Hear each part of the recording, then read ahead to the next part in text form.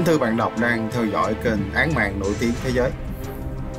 Và như thường lệ cho phép tôi được thay mặt ekip gửi lời cảm ơn đến các bạn đọc đã và đang đồng hành cùng chúng tôi. Chúng tôi luôn luôn mang tới cho bạn đọc những thông tin nóng hổi, những vụ án hình sự của thế giới cũng như trong nước một cách chân thật nhất. Và để ủng hộ và ủy lạo tinh thần của ekip, rất mong các bạn ủng hộ chúng tôi bằng một lượt đăng ký, một lượt like và một lượt bình luận để chúng tôi lấy đó làm động lực để tiếp tục cống hiến cho các bạn đọc những chủ đề hay hơn và hữu ích hơn.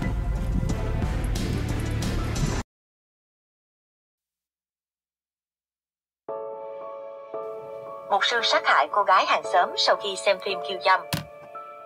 Dục vọng trỗi dậy sau khi xem phim khiêu dâm, một sư 55 tuổi nảy ra ý tưởng quan hệ tình dục với tử thi và ông ta nghĩ tới bà mẹ đơn thân trẻ gần nhà. Rebecca Gay là một người mẹ đơn thân hiền lành, dễ mến ở thành phố Mount Vernon, bang Michigan, Mỹ. Cô thuê một ngôi nhà di động để sống với cậu con trai 3 tuổi mang tên Con Quay và làm việc tại một cửa hàng trong thành phố. Để tổ chức lễ Halloween năm 2012, cô đã trang trí nhà bằng 8 con bù nhìn và lên kế hoạch với bạn trai Adrian, Aaron Wynn để gây bất ngờ với con trai Conway. Quay. Mất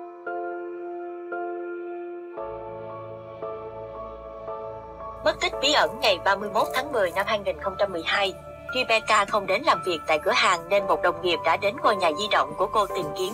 Đồng nghiệp không thấy Rebecca trong nhà nhưng xe của cô nằm trong bãi đậu xe của một quán bar gần nhà cô.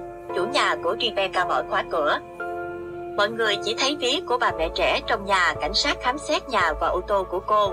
Họ nhận thấy dấu hiệu tẩy rửa bên dưới một tấm thảm trên sàn nhà và đồ đạc xê dịch khỏi vị trí quen thuộc, cho thấy dường như một cuộc vật lộn đã diễn ra. Nhóm điều tra thẩm vấn những người sống xung quanh nhà của Rebecca để tìm manh mối. Họ xác định chồng cũ và bạn trai của cô không phải là nghi phạm. Rebecca có mối quan hệ thân thiết với John White, một mục sư 55 tuổi sống gần nhà cô.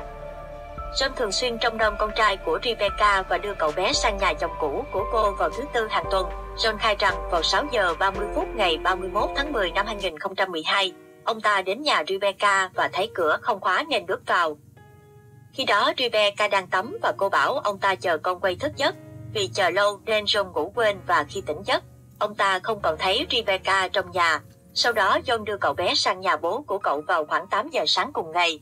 Nhóm điều tra thấy một vết xước trên mũi John. Vị mục sư giải thích một giá đựng đồ trong nhà ông ta rơi trúng mặt. Khi cảnh sát tới nhà John, ông ta chỉ cho họ xem chiếc giá rơi.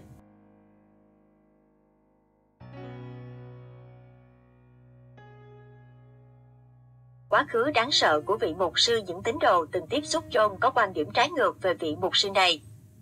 Một số người nói John là một sư chuẩn mực, song một số người lại khẳng định ông ta có vẻ kỳ cục. Tìm hiểu kỹ hơn, nhóm điều tra phát hiện John từng có quá khứ đáng sợ.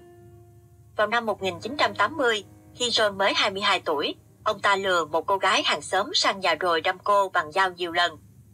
Nạn nhân không chết và John nhận án tù vì tội âm mưu giết người. Ông ta chỉ ở tù 2 năm trước khi tại ngoại vì được ân xá. Vào năm 1994, John tiếp tục ra tòa vì liên quan tới cái chết của một phụ nữ khác. Do không có bằng chứng đủ để kết tội John, cơ quan công tố thỏa thuận với bị cáo rằng ông ta sẽ nhận tội ngộ sát để hưởng mức án nhẹ hơn án chung thân. trong đồng ý và ông ta chấp hành án tù từ năm 1995 tới năm 2007. Với quá khứ bất khảo của John White, cảnh sát yêu cầu viện mục sư thực hiện bài kiểm tra với máy phát hiện nói dối. Trong quá trình này, một cảnh sát phát hiện máu và một phần vòng cổ vỡ ở phía sau nhà của ông ta. Khám xét nhà mục sư, họ thấy một túi chứa búa cao su, dây buộc nhựa, túi đựng rác, đồ lót phụ nữ. Cùng lúc đó, John không vừa qua bài kiểm tra nói dối. Nhóm điều tra hỏi John về những vết máu và đồ vật lạ trong nhà. Vị mục sư nói ông ta không biết gì hết.